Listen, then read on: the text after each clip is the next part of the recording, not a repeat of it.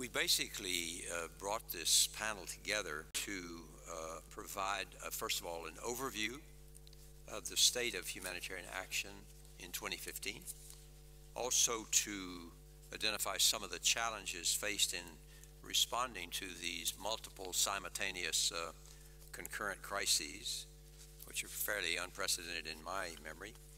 And thirdly, to look a little bit at the manner in which we as a humanitarian community are adjusting our operations uh, to this current very fluctuating humanitarian environment.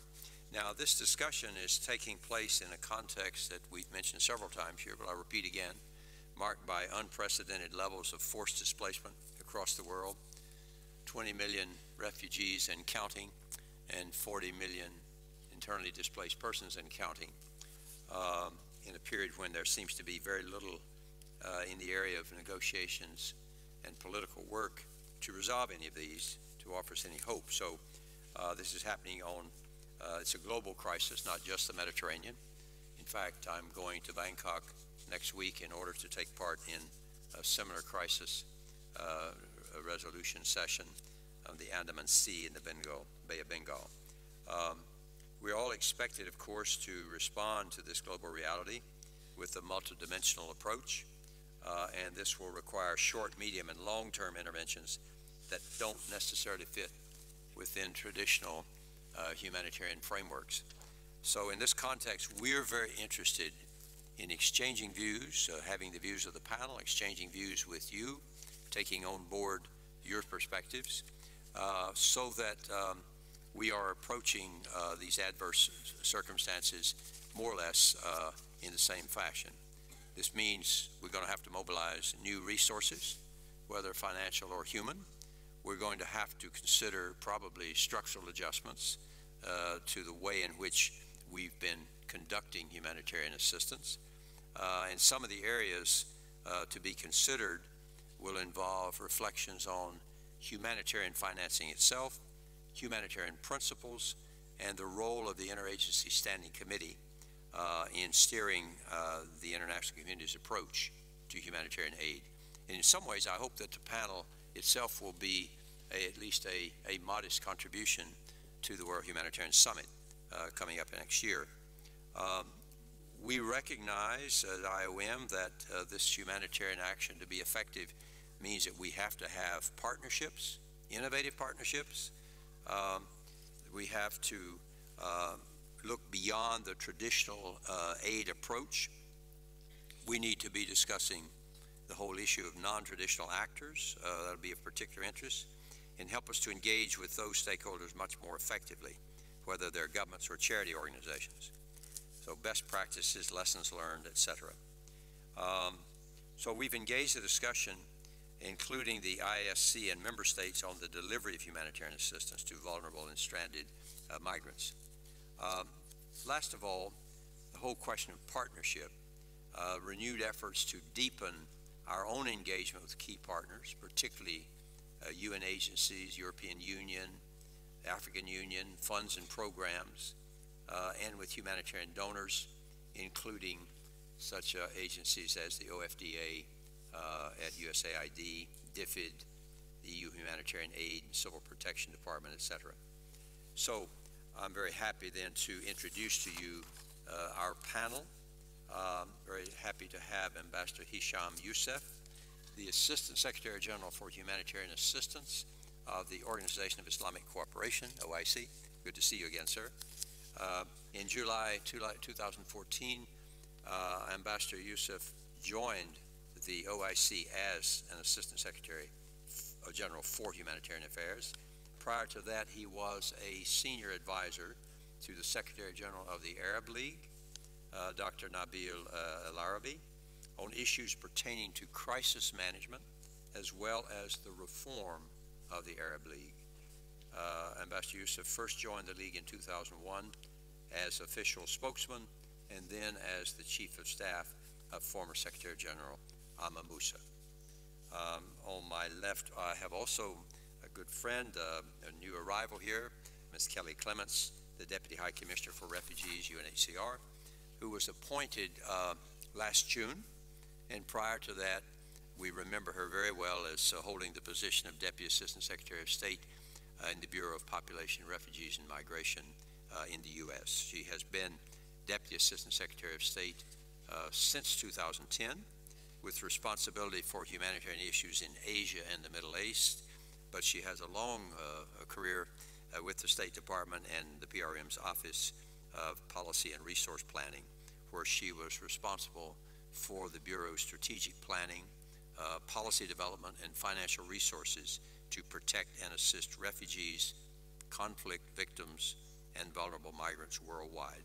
She was also acting Deputy Chief of Mission at our embassy, uh, U.S. Embassy in Lebanon uh, during uh, 2014. Uh, Deputy High Commissioner has been closely involved with refugee and displacement issues for some considerable period, about uh, 25 years, uh, so brings a lot of experience to UNHCR and to this panel. Um, another good friend on my, my right is Mr. Jean-Louis de Brouwer, who currently is the Director of Humanitarian and Civil Protection Operations at ECHO in Brussels. Uh, we're happy that we could snare him away from other obligations at the last minute. He could join us. He, he's been with ECHO since November 2012. We knew him previously, of course, as the Director in, in uh, charge of the coordination of employment politics in the Department for Employment and Social Affairs, and 18 years in the Justice and Home Affairs Department where we worked particularly closely with him on migration and asylum questions, latterly as he was also director in charge of border and visa issues. And before joining the European Commission, Mr. de Brouwer worked in the Belgian Civil Service in the Ministry of Economic Affairs and the Ministry of Home Affairs. Uh, so I see you're. Okay, and uh, Jeremy Konyndyk, the Director of the Office of U.S. Foreign Disaster Assistance in the U.S. Uh, Jerry, good morning. Nice to see you. Um, he's joining the discussion via video link. Um, Jeremy Konyndyk has uh, been Director of USAID's Office of U.S. Foreign Disaster Assistance since September of 2013.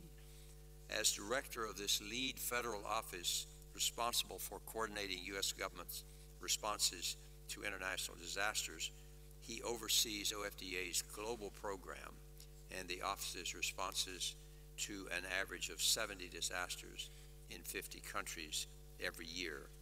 Since assuming his position, Mr. Konyndyk has led the U.S. government's humanitarian response to the Ebola outbreak in West Africa in the Mano River Union area, the 2015 Nepal earthquake, the Iraq crisis, Typhoon Haiyan in the Philippines, uh, and the resurgent conflict in South Sudan, and of course the ongoing five-year war uh, in Syria, among other crises. Finally, uh, another good friend, uh, John, you're, you're, down at the, John Gingott, uh, on my left, Director of Coordination and Response Division of OCHA. Um, John uh, was appointed as director of the operational division at OCHA in February of 2011.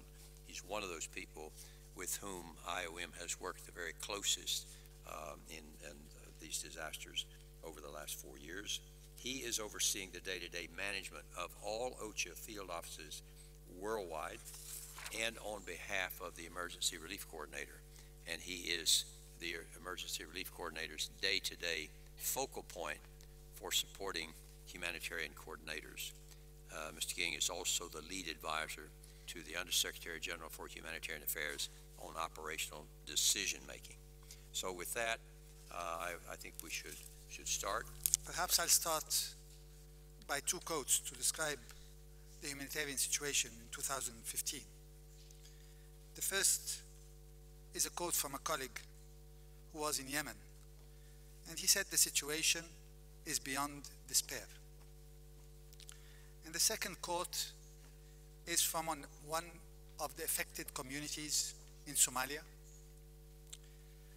who said that as long as there is no famine, the world doesn't care. I think this is a summary of the situation, of the humanitarian situation in the world today. And I also think that it is probably the worst that it has been since World War II. Half the population of Syria have been forced to leave their homes. either inside Syria or beyond its borders. And these are around 12 million people. And 21 out of 26 million Yemenis are in need of humanitarian assistance of one form or another. And we have a number of countries that are suffering and may break down as a result of the problems in their neighborhood and not problems of their own. Lebanon is hosting 1.5 million Syrians. Jordan is hosting a similar number. Turkey is hosting over 2.3 million Syrians and Iraqis.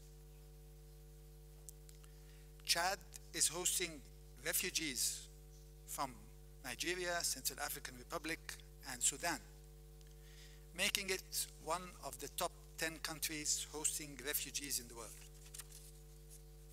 And we have a devastating humanitarian situation in Iraq, in South Sudan, Central African Republic, Myanmar, and the list is long. And as you mentioned, Director General, tens of thousands have been forced to resort to death boats, not only in the Mediterranean, but also in Southeast Asia. And the humanitarian system is continuing to pay the price of failure in resolving conflicts politically. 80% of the humanitarian assistance is in conflict areas. And the vast majority of this assistance is for protracted conflicts. In facing this gloomy picture, we at the OIC decided that we will join hands with partners in almost everything that we do. We've been going on joint missions with OCHA to Iraq, to Chad, where we were also joined in Chad by the African Union and a number of member states, including Saudi Arabia, Kuwait, Qatar, and members of the international community, the United States, Germany, and a number of NGOs. We went to Gaza with the Islamic Development Bank. We're working with the Arab League on assistance to Syrian refugees and on a plan to visit Pakistan and Afghanistan in the not too distant future with OCHA as well.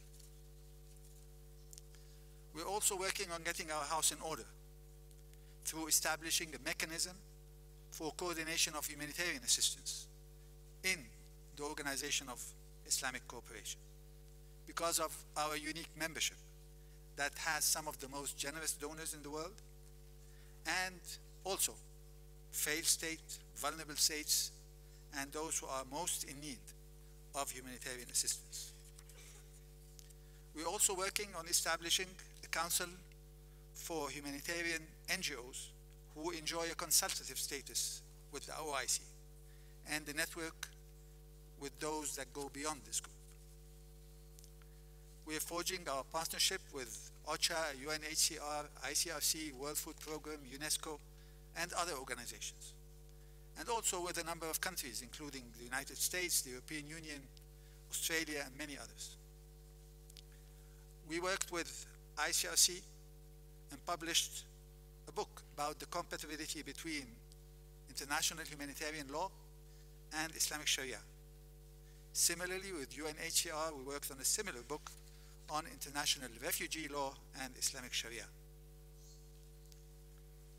We also worked with UNRWA to avoid an imminent crisis that threatened 500,000 kids of not being able to go to school because of lack of funds.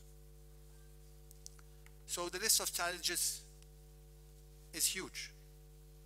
And we hope that we can work in the World Humanitarian Summit in order to be able to solve some of these issues.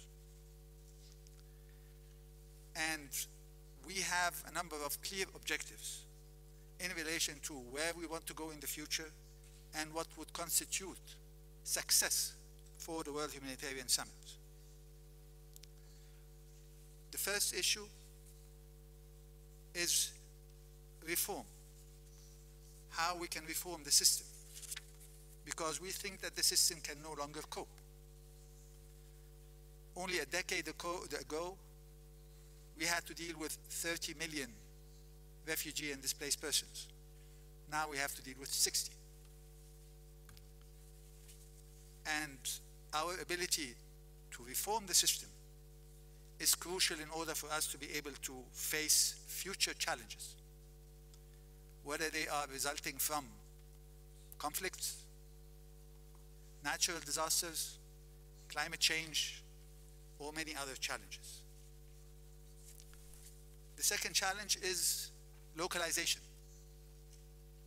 We have to ensure that first responders, those who are on the ground, are more capable, they are involved in decision making, and not only subcontractors. And this is not a fight or a power struggle between local and international NGOs. Absolutely not. It is how to take advantages of the best of both worlds. Somalia has been in trouble since 91. We don't have strong civil society organizations in Somalia until today. And this is something that we have to change. The third area is protection and access. I think we have to do much better in reaching those who are in hard to reach places and provide more effective protection to those who need it, including humanitarian workers. And we also need to ensure that the humanitarian principles are upheld. And at the same time, that counterterrorism legislation does not put undue obstacles to a legitimate humanitarian effort. The fourth point is resources. As long as we're failing to resolve conflicts politically, then we have to make resources available for those who are in need.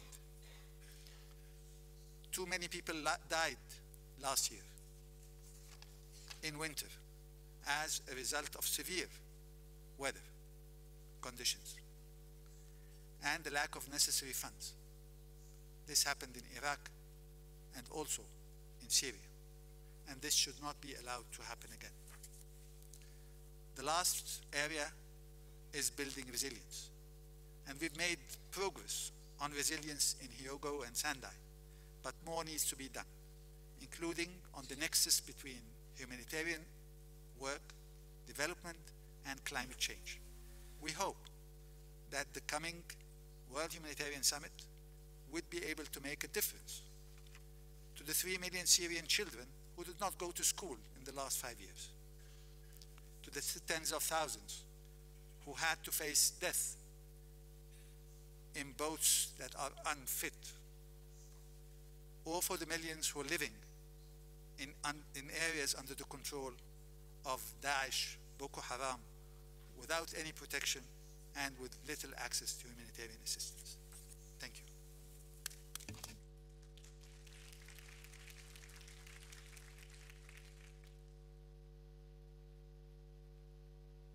Thank you very much, Mr. Assistant Secretary General. You've given us a lot of food for thought to start this off on terms of partnership. In terms of resources, the need for systemic reform, which we all know we have to do, the whole question of trying to deal, make sure that we uh, allow those who are locally capable of also being uh, uh, the, the first responders and the first participants in this, and a number of other important points. I want to use that then as a platform to move forward and if I may now ask our uh, Deputy High Commissioner for Refugees, Ms. Kelly Clements, uh, to take the floor. Thank you very much, uh, Director General, fellow panelists, and distinguished uh, representatives here. Uh, I'm going to focus very much on the partnership, actually, that UNHCR enjoys with IOM, which it's deep, it's lasting, and it's grounded on mutual respect. And it's been forged over decades of operational collaboration. It's truly important to us. Uh, Ambassador Swing, in his keynote, actually at the last IASC working group, and many other public events over the last few months, has highlighted the challenges stem stemming from the multiplicity of, of crises with no foreseeable political solutions and the consequences of an overstretched and underfunded humanitarian system. We share these concerns greatly. Uh, in his remarks to UNHCR's executive committee meeting last month, the High Commissioner presented an unflinching picture of the magnitude of the problem, which both the Ambassador and the Director General have echoed this morning, which currently affects 60 million refugees and internally displaced persons as a result of conflict alone. Obviously, these numbers are far greater uh, if we include natural disasters. Last year, on average, 42,500 individuals every day were displaced by conflict alone. It's quite a staggering reality and one that we are seized with. Many of today's conflicts are highly complex and carry with them a regional dimension. The obvious example is the interconnected mega crises in Syria and Iraq, which have been uh, discussed this morning, which has already displaced 15 million people. But there are other examples, notably South Sudan, Yemen, the Bay of Bengal, and the Andaman Sea, to name a few. Further compounding these problems is the growing number of protracted emergencies that also require attention and sustained assistance. And at the same time, humanitarians are increasingly feeling the strain of a global funding shortfall. All of these factors make it imperative for humanitarians to engage fully with development partners in an effort to address these problems holistically. The 2030 uh, Agenda for Sustainable Development provides this kind of an opportunity through the combined efforts of IOM and OCHA and OHCHR, UNHCR, and the Special Rapporteur on the Human Rights of Internally Displaced Persons sent a, a joint letter to the Secretary General. Uh, the 2030 agenda now speaks of inclusion, equality, leaving no one behind, and considers displacement to be a development issue as well. This is a real turning point and one in which uh, an opportunity that we should seize. The, under, the High Commissioner underscored this point at the Global Forum on Migration and Development last month, stating that for development policies to be soundly formulated, those must take into account the humanitarian dimension, which is why we think this is an important subject for this event here. On the issue of migration, the current movement of people, which is the highest on record, UNHCR aligns with IOM's call to governments to recognize migration historically has been a positive force that has helped to build nations and contribute to human progress. International cooperation among countries of origin, transit, and destination is important, not just for border management, but also to focus on development cooperation policies, on conditions for people to have a future in their own countries, and for them to use migration as a choice rather than a desperate option. We consider IOM the preeminent experts on international migration in the world today and commend IOM for highlighting the operational gaps in the humanitarian system particularly but not exclusively as it relates to migrants. Indeed, recent experience has shown that the humanitarian response to the needs of migrants is inadequate and ad hoc. There was broad recognition of this shortcoming at the last IASC working group, as well as support for IOM's proposal to integrate the needs of migrants in humanitarian response plans, which we support fully. For our part, UNHCR is pleased to be working closely with IOM on the Regional Refugee and Migrant Response Plan for the crisis in Europe, aimed at delivering a comprehensive response to this enormous challenge.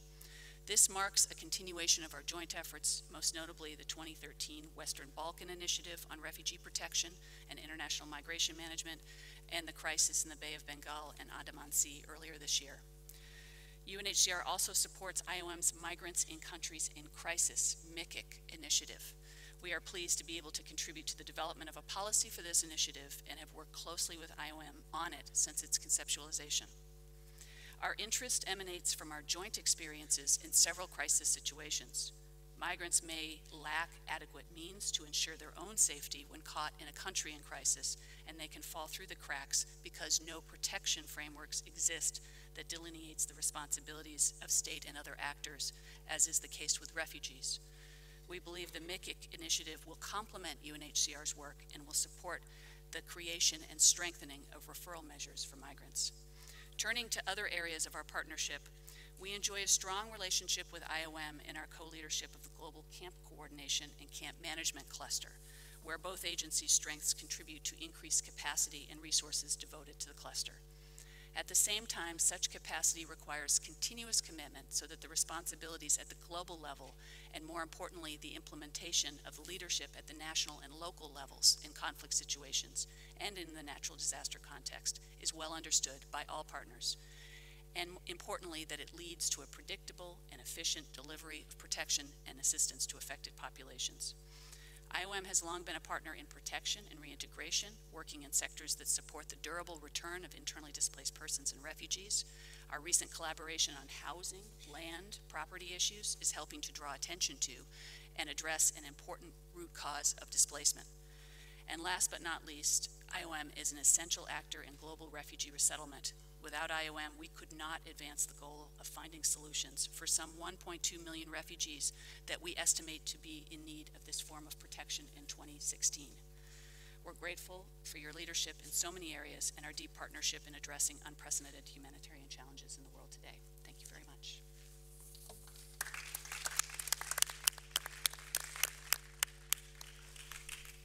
Needless to say, I'm very grateful to you for that reaffirmation of our longstanding partnership and friendship. Uh, we were sort of joined at the hip in 1951. High Commissioner always likes to say that we were joined at the hip, but they lost our birth certificate. That's, and that's partly partly what's being discussed now in the IOM-UN relationship. But we, we value very greatly the partnership, and you've underlined a number of areas in which we have to continue to to do our best to work together. I'm just thinking of the increasing demands we've got now for the resettlement of Syrian refugees. We have the uh, Canadian announcement, one by President Obama, and several others, it will mean that we will be uh, surging our, our, our response capacity. I think we should now perhaps uh, go to Washington. We want to.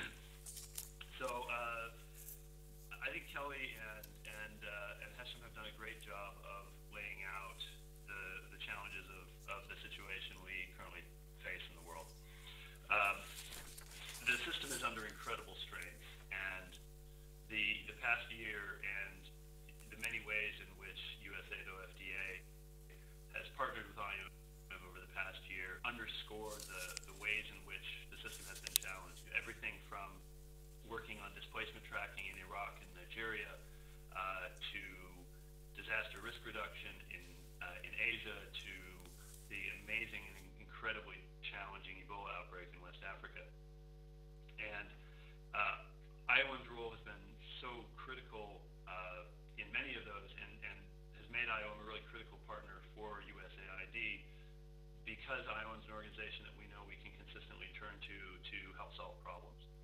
And um, as, uh, as Kelly and, and Hesham have both said, we're at a point with, with the system where we need uh, we need to be thinking about new and creative solutions. We need to be thinking about new ways of working together uh, to adjust to this incredible strain that the system is under. So uh, I was asked to, to speak a bit about OFDA's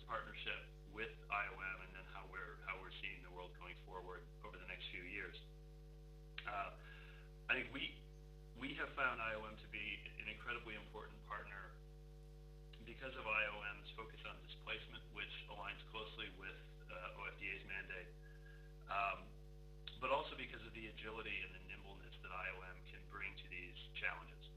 Um, and so in, in Iraq, uh, for example, IOM works on the displacement tracking matrix, which has been a really, really crucial tool in ensuring we have good visibility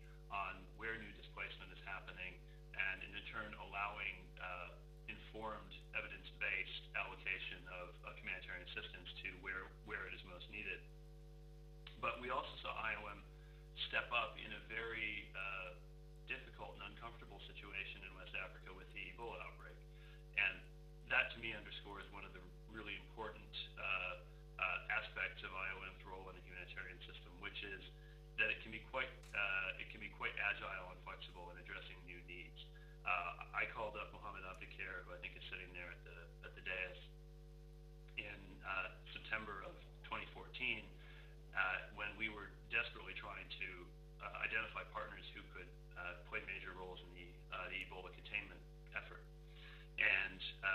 we brainstormed some ways that IOM could work on that effort, and what uh, came out of that of that process was a, a really tremendous plan by IOM to run several Ebola treatment units, uh, but not just that, to also focus on border and migration issues in the region, which were really critical. You'll you will remember that a number of countries were closing their borders and putting new controls on their borders, and there was a great fear that the disease could be exported. Um, so it was it was some skill sets that already already had, and then merging those with uh, new partnerships and new abilities to address a problem that, that we were all confronting. Um, we also work closely with IOM in Asia uh, on disaster risk reduction. And I think that's, that underscores another shift that the humanitarian system is going to. You know, we're not in a, in a situation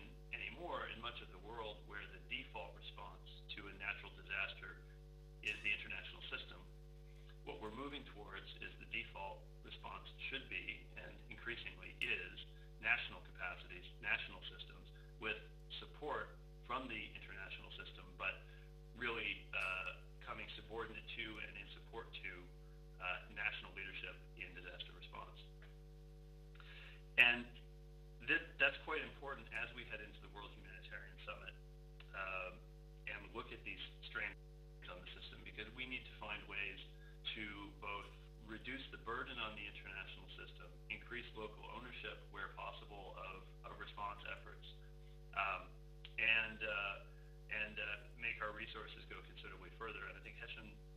did a great job of laying out some of the reasons and opportunities that make the World Humanitarian Summit so, so important.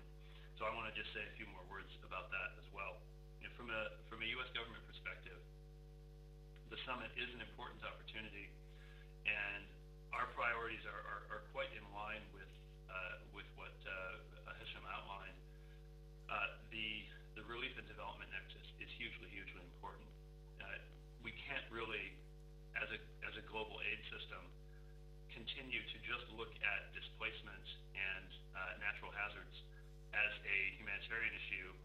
to be responded to reactively. We need to look at it also as a development issue to be responded to proactively, and that's a major priority for the U.S. heading into the summit. We are also very focused on uh, some reforms of the humanitarian system I think we we feel there's been great progress made over the last 10 years since the UN initiated humanitarian reform, but the strain that the system is now under means we need to go even further. Uh, and I think we've also seen in the past few years that while there have been improvements on those reform efforts, there is quite a ways to go yet as well. So we're, we're looking to work with the UN and, uh, and with other member states on uh, some further reforms on that front. Uh, I could not agree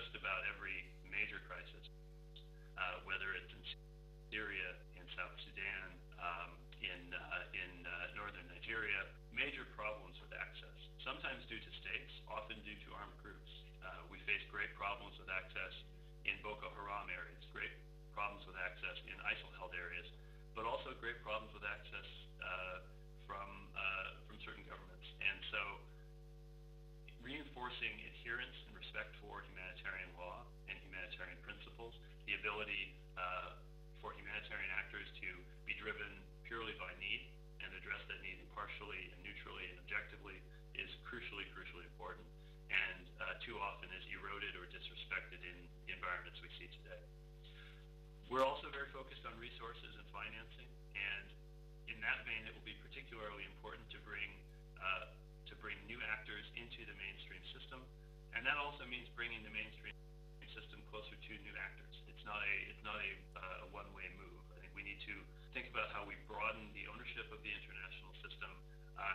very encouraging to see uh, see new donors, uh, or not new donors, but uh, long long time donors, uh, such as the, uh, Saudi Arabia or the uh, United Arab Emirates, taking a renewed interest in really investing in their ability to engage with the system. And I will actually be going out in a few weeks to Riyadh and to um, to Abu Dhabi to further build the U.S. relationship with our with our counterparts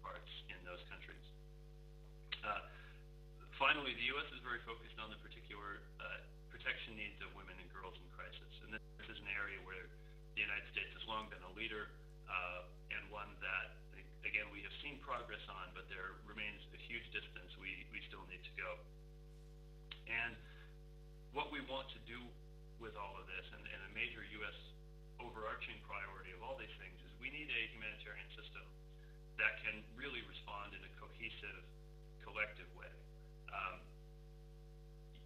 say that at this point, we have a, a humanitarian ecosystem or landscape, but not a system. We have a lot of different agencies uh, pursuing different agendas, sometimes in, in close coordination and sometimes uh, going their, their own way. What we need to move towards is a system that, while will still be made of a lot of different constituent parts, is able to act in a much more unified, much more cohesive way.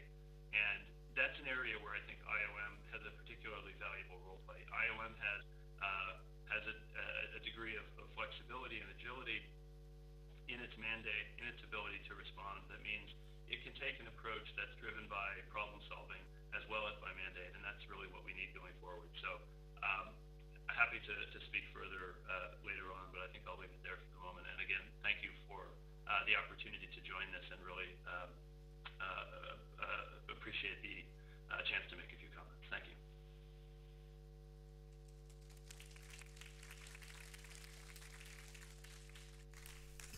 Thank you very much, uh, Mr. Director. We greatly appreciate uh, your joining us at this hour, early hour of the day for you.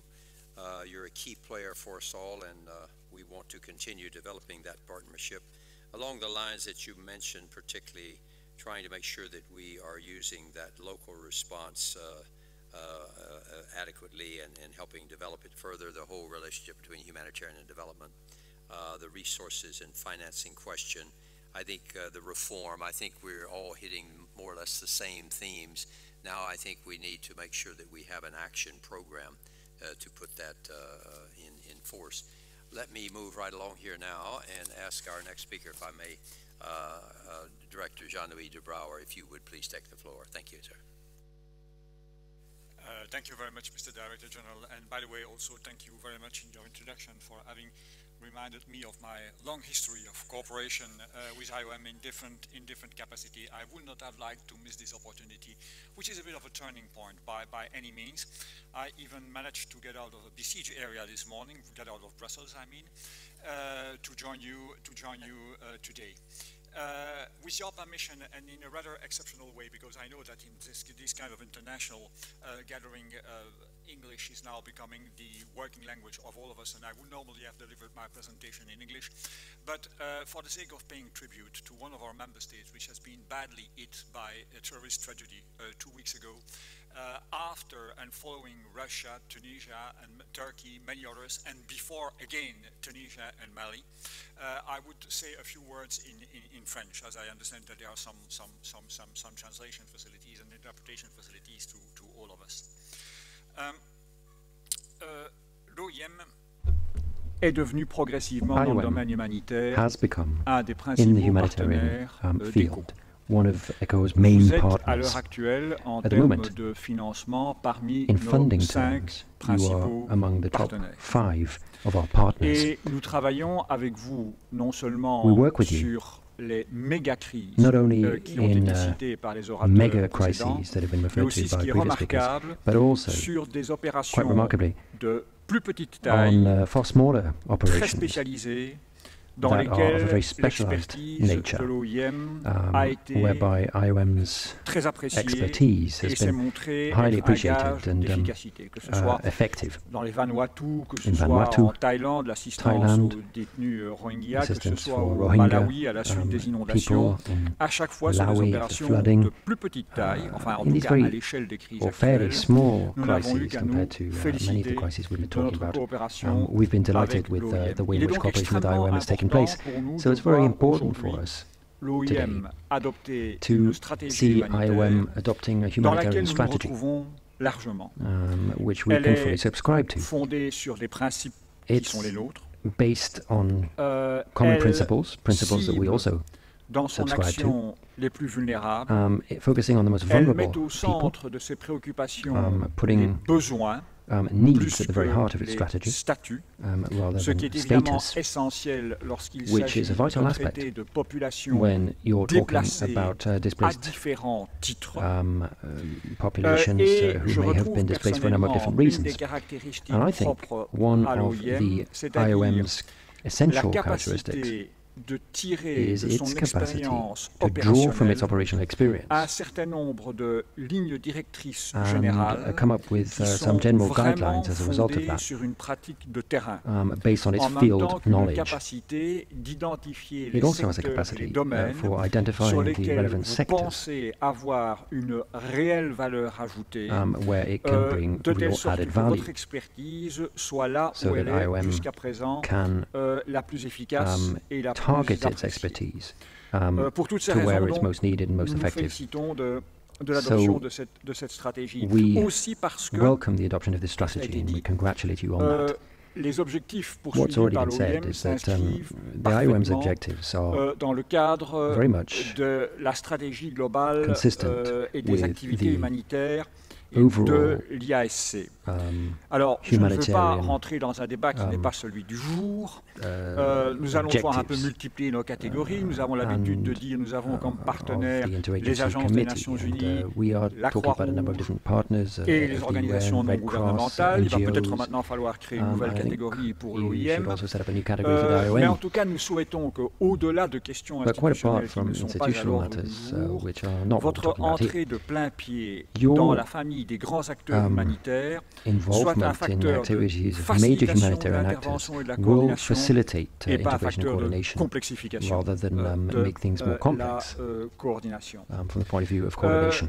J'ajouterai encore que, de notre point de vue, Now, I will euh, also add l'OIM that um, caractéristique euh, see à fait particulière, IOM as having a very specific uh, travaillez avec vos équipes sur le terrain. aspect, and that is that you work very closely with your field de l'OIM lui-même staff, um, and it's IOM field staff who are involved in implementation uh, in the field, and that uh, gives you a key advantage. pour les bailleurs de fonds, ce sont deux Both concepts for importants. Excusez-moi de les rappeler aujourd'hui, à la sorry to fois to remind en you bon that, français but, dans le texte de monitoring et d'accountability. but, and in Savoir terms of monitoring and accountability, directement responsable de toute la chaîne des because we know that IOM is responsible for each um, uh, uh, link in the chain. rassurant, mais évidemment, ça fait and that's very reassuring porter le poids for donors, and uh, it's also a uh, very good thing for uh, accountability terms. Uh, I would not dwell on the humanitarian situation as it is unfolding worldwide uh, today. I mean, other speakers have done that in a very eloquent way, and I will not bombard you again with figures and overall consideration about the size and magnitudes of the challenges that we are all confronted with today. Needless to say, and I will not further elaborate on that, at least in this initial intervention, but we can come back on that during the discussion afterwards, that the European Union feels pretty much at the center of everything which is happening for the time being. All these crises are unfolding at our doorsteps, and they are translating into what for the Union is also an unprecedented crise existentielle, I, would, I would say. I was referring earlier uh, to the terrorist attacks which hit uh, Paris after so many other cities. Some people in the audience might say it has nothing to do with what we are dealing today, today we're dealing with today. Of course, it has to do with what we are dealing with today. Kelly said it very eloquently. We are confronted with very complex man-made crises, and this interconnectedness is part of the complexity of the situation we are dealing with. Last but not least, expectations with regard to the World Humanitarian Summit. Uh, World Humanitarian Summit for us, if it's successful, will be the beginning of a process. It will not be the end of a process. We expect the WHS to launch a process that might indeed lead us to the dramatic changes that were advocated by my predecessor and that we advocate ourselves. But it's quite unpredictable. And I do not think that the humanitarian world will be radically different after the closing session of the WHS in Istanbul from what it was before. This being said, we have also, as Jeremy did, as Ambassador Youssef did, we have to identify our priorities and what we think that should be on the agenda of this aggiornamento of the humanitarian aid that we are all advocating for. We are somewhat more modest. I mean, Ambassador Youssef, Youssef called five, three, five priorities, we would have three. But they are quite similar. First, reaffirmation of the basics. Principle, humanitarian aid, aiming at supporting and shouldering the situation, improving the situation of the most vulnerable, needs-based, principled, and protection-oriented.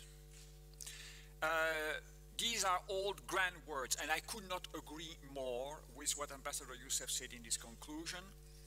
No slogans, action.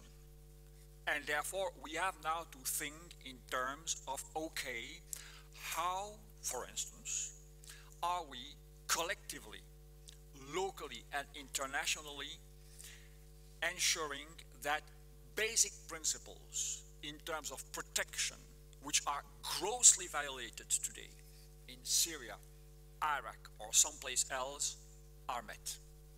It's not about drawing a new agenda. It's not about inventing new things.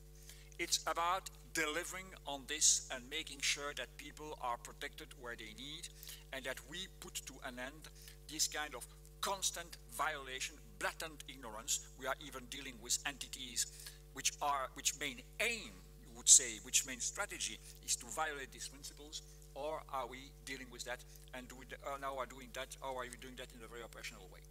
Humanitarian financing, resources, of course. It's key, it was quoted by everybody. Uh, there we have some expectations. I would say also because one of the co-chair of the high-level panel is my former boss, nowadays Vice President of the Commission, Kristalina Georgieva. I mean, there have been a presentation uh, yesterday, I think, or the day before yesterday, of the anticipated contribution of this high-level panel uh, in New York. We might have there, we might have there one of the operational short-term deliverables of the WHS, and we are supporting and we are looking very carefully as a donor uh, at the conclusion of this uh, panel and the way they are going to be possibly taken over in whatever comes out of the WHS. And as part of this agenda, but broader than this agenda, the uh, humanitarian development nexus. Uh, it's all over the place, uh, including inside the Union, by the way, and we try to do our best. But we have to achieve this. I mean, again, no slogan, action.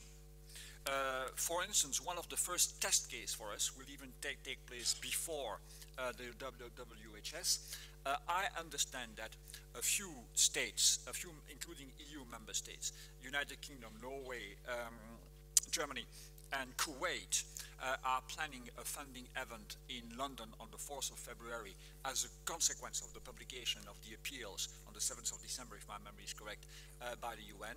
I understand, but we'll see that, that they want to take a completely new approach, move one gear up, uh, go beyond uh, what can be, delivered or what cannot be delivered uh, by humanitarian donors and making actually real connections, actual connections between different funding streams, funding instruments. It's not only about donors, it's about also funding streams and instruments. This could be a test case. We are going to follow that very, very closely. We are going to try to support that, and maybe we could draw lessons from this uh, for further development. So to have the IOM on board of all this discussion is in a way reassuring because I mean uh, many of our colleagues have used, have used quote. I will use also one in my conclusion this time, quoting you, Mr. Swing when you say that migration is not only inevitable but also necessary and highly desirable provided that it is properly managed, how could we ignore this in a globalized world? How could we think one second that in a world where goods, services, informations are traveling, are moving at the speed of light, all of a sudden the one and single entity which would become stuck would be human beings. Thank you very much.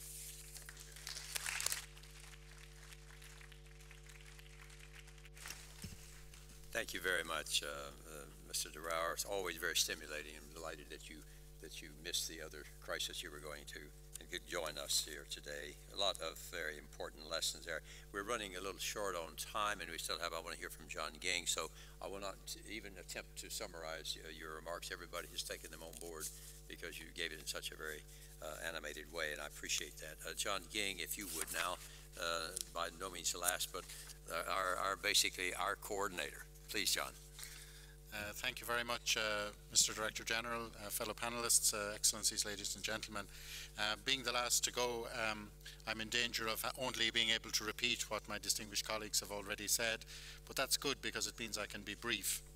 Uh, let me just bring a few additional perspectives and absolutely join everything that that has already been said without without repeating it.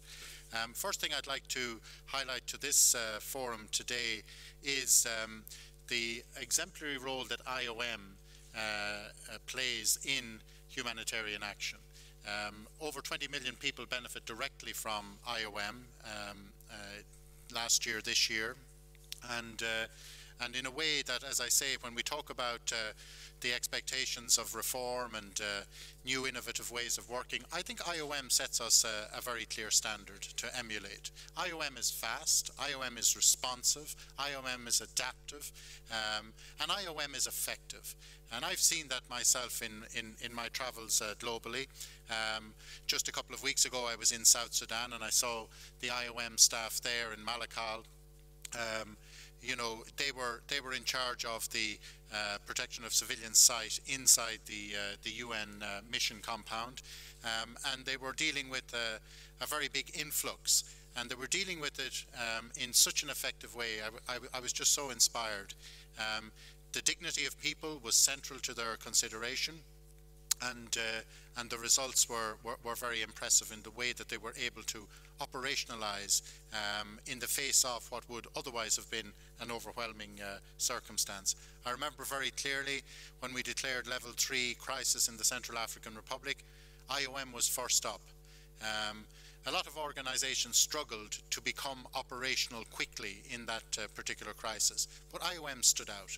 Uh, and they were there uh, in the airport um, doing uh, a heroic job in in facilitating the, the, the, the repatriation of those who um, were, were, were, were in a very vulnerable uh, uh, situation. And they, again, were doing it at speed.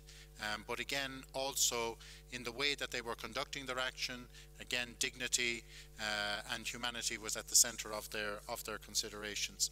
I also remember when, when the UN Security Council passed a resolution to um, authorize cross-border uh, operations into, into Syria. Again, within a matter of days, IOM was out in front um, for our community with, uh, with delivery of vital humanitarian assistance across the borders uh, into, into Syria. So I just want to, again, um, make sure that people realize that they're not just platitudes. There are very real examples on a daily basis of IOM setting the, what I would say is the gold standard for response. Um, uh, in speed, efficiency, and and effectiveness um, on a daily basis uh, throughout the world. Um, I'd also like to uh, join my fellow, fellow panelists in uh, in highlighting, of course, the importance of uh, the World Humanitarian Summit, and uh, and and recall for us all that this is not a summit by choice. This is a summit of necessity. Um, the, the world today is most definitely on uh, a very devastating and negative trajectory, and there, there is a, a real necessity um, to refocus, uh, to reflect on the direction that we're going, and then hopefully uh, to set a new course. Um, in the first instance, we would hope that there will be more humanity in political decision making at the global level. You know, there's no deficit of humanity in this world um, among civil society. And that's why we started with the summit consultations, uh, with consulting 20,000 plus people. Um, but we didn't even have to do those consultations. Go to the poorest country on the Human, on the Human Development Index, Niger, and go to the poorest uh, part of that country, Diffa, and see there the humanity of the local population in embracing uh, the refugees who are fleeing for their lives from uh, the neighbouring uh, the neighbouring countries. And uh, and again, those people having very little themselves, but they have uh, again exemplary generosity. Um, they've exemplary humanity, um, and again, that's what we need to remind ourselves of: is that that we need to have that humanity central to uh, how we act and how we decide. Um, and when we look at the at the global uh, um, political landscape with all these man-made uh, uh, conflicts, and they are man-made. I cannot think of a single conflict that is woman-led. Um, so again, we need to we need to take that on board um, because we also make big uh, uh, commitments in terms of the inclusion of women, and we fall very far short. Uh, in terms of implementing those commitments, particularly in conflict resolution. Um, so again, uh, um, we have we have we have a lot to do at the global level, at the political level, uh, to bring uh, humanity back into its central place um, as as the foundation uh, for for decision making. And and again. Um, we would we would hope that this will translate into into action that people will feel um, at the grassroots level. And as I say, there's a lot uh, of uh, humanity out there, but unfortunately the brutality of, uh, of conflict um, is uh, resulting in what my uh, colleague uh, Jean-Louis de Brouwer was, was highlighting as the first priority of our focus, which is the protection of the innocent.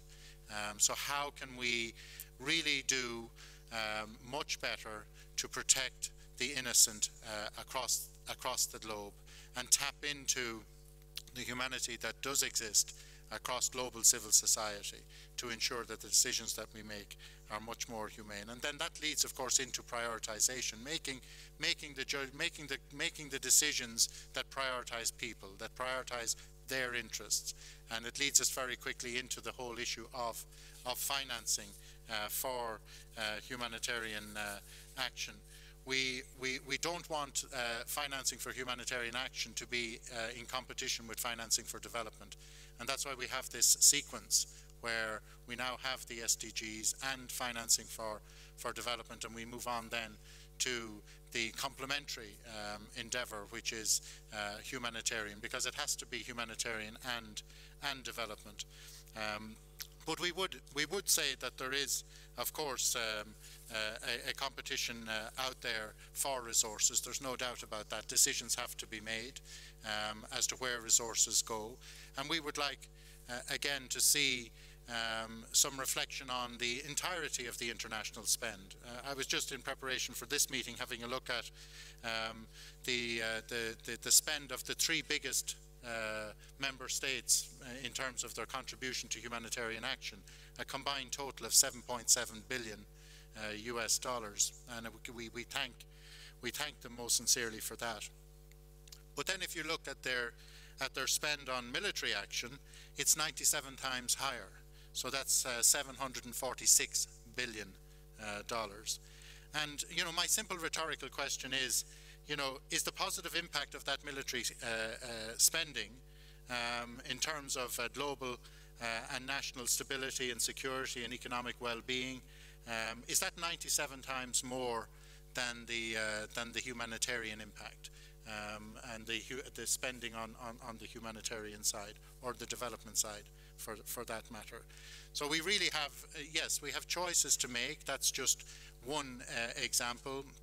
Um, I agree with my uh, uh fellow panelists that uh, the World Humanitarian Summit must be the, uh, the beginning um, of a new direction um, and that will give hope uh, to people around the world that the world is on a different trajectory. We are in the business of creating hope, so we don't despair. Um, we shouldn't be naive. The challenge is, is enormous, but uh, we do have uh, the coming together at the global level positively this year uh, in the 70th anniversary of the United Nations. Um, 154 heads of state came to New York. We also saw the adoption of the SDGs. We are looking forward to the climate uh, uh, summit um, in Paris, and uh, and then with uh, with with that uh, positive. outlook, we, we hope that the World Humanitarian Summit next year will indeed put us on a, a, new trajectory and fulfill the ambition that we all have, um, and most importantly, the hope that uh, so many tens of millions of people depend on uh, the success uh, of this uh, upcoming summit. Thank you very much.